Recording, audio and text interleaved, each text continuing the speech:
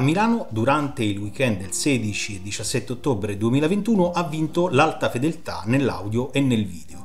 E hanno vinto anche i distributori, ancora un po' troppo pochi, ma soprattutto i rivenditori, questi in effetti piuttosto numerosi, che hanno creduto nella perseveranza e secondo alcuni anche nella folle incoscienza di Stefano Zaini, organizzatore della più interessante e più longeva manifestazione italiana dedicata all'alta fedeltà.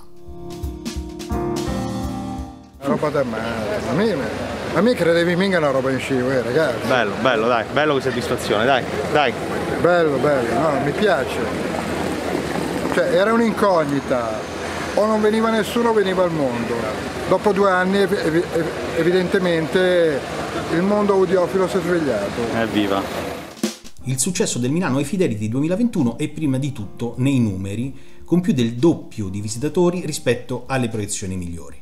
Probabilmente tutti noi non avevamo fatto i conti con la grande voglia di socialità, di incontrarsi di nuovo fisicamente per condividere la passione comune per l'alta fedeltà, ma anche per sfogliare le numerose copertine dei vinili, ovviamente senza mai dimenticare la disinfezione delle mani.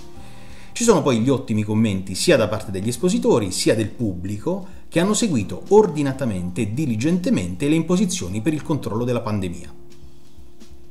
I tre piani dell'Hotel Melià, riservati al Milano ai Fidelity e alle varie sale dedicate alle varie installazioni, erano tutte caratterizzate da un numero chiuso.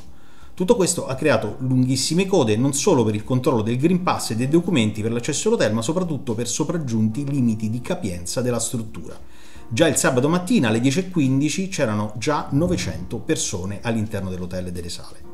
Lo stop ha creato non pochi disagi, con persone che hanno atteso più di un'ora prima di poter entrare all'interno dell'hotel.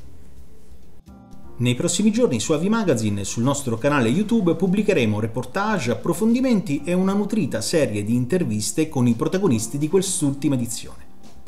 Nel frattempo vi ricordiamo il prossimo appuntamento per sabato 27 e domenica 28 novembre all'hotel Mercure West di Roma per il Roma High Fidelity 2021, dove saremo presenti ancora una volta con una serie di iniziative per coinvolgere anche e soprattutto il pubblico da casa.